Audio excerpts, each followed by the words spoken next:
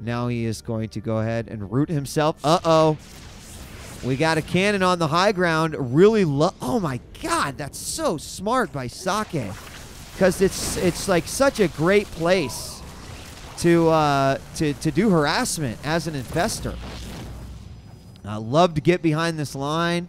Drop fungals right down here. Oh, whoa, whoa! He fungal. Oh, he's storming. Oh, oh my God! Yes, that is so awesome. As he fungals the High Templar and storms all of the probes. Look at the difference that made. Almost 30 probes axed right there. Sorry, I get a little bit excited when I see awesome stuff like that. But where